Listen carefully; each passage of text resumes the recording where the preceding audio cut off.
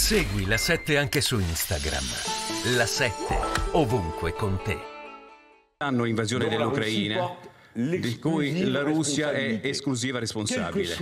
Indipendentemente dalle cattive maniere che ci sono state, chi passa una frontiera per invadere un paese vicino deve essere condannato da tutti. Non si possono regolare i problemi delle frontiere in Europa con la violenza. Prima cosa. Seconda cosa, ora lei, io abbiamo un motivo di aver paura perché come combattono lì potrebbero attaccare le centrali nucleari. Se quelle di Zaporizia, per esempio, noi abbiamo bisogno, questa è la posizione di De Magistris dell'Unione Popolare, Popolare, noi vogliamo che i caschi blu dell'ONU vadano a proteggere la centrale. Da parte mia, io lo dico dall'anno scorso, però il Presidente della Repubblica francese non mi ascolta, non mi ascolta abbastanza.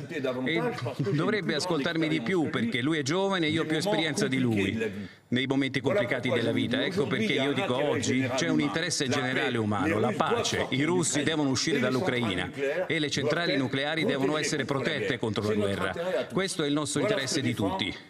Ecco quello che l'Unione Popolare difende. Che i russi devono uscire dall'Ucraina e eh, poi in un passaggio successivo, no, che non è stato messo per intero, eh, aggiungeva, cioè Mélenchon era favorevole anche diciamo, al ricorso alle, alle armi. Ma uh, guardi, noi abbiamo l'unica posizione come Unione Popolare Italiana che è differente da quella del quadro politico di Meloni, Letta e gli altri, per capirci. Al di là delle differenze da campagna elettorale, se vince Meloni o vince Letta, la politica nei confronti della Nato, nei confronti dell'Ucraina, la Russia, sarà sempre la stessa e quindi avremo poche prospettive di pace in tempi rapidi. Noi siamo invece assolutamente netti nella condanna dell'invasione di Putin che è in violazione del diritto internazionale. Ma il concetto che Putin, deve uscire, che Putin deve uscire dall'Ucraina, che ha detto con questa nettezza Mélenchon, lei lo condivide?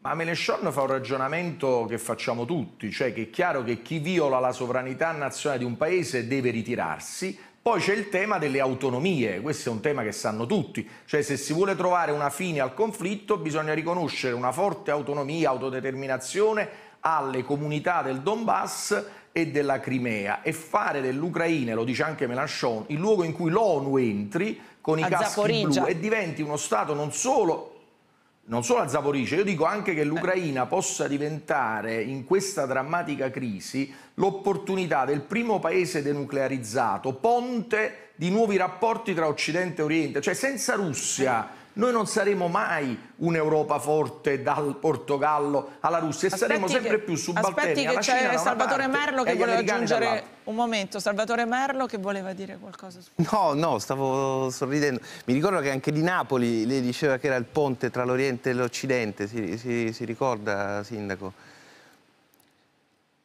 Sì, no, anzi la ringrazio molto perché io feci una cosa che fu pure un po' derisa, ma secondo me aveva un, un significato importante. Nel 2016 facemmo una delibera di giunta comunale, poi approvata anche dal Consiglio, in cui dichiarammo il porto di Napoli denuclearizzato. È chiaro, un sindaco non può cambiare il mondo e fermare le portaerei, però fu un segnale. Il porto di Napoli accoglie, così come ci opponemmo all'ordine illegittimo del Conte 1 quando ci voleva ordinare di chiudere i porti, non accogliere le navi che salvavano i migranti e farli morire in mezzo al mare.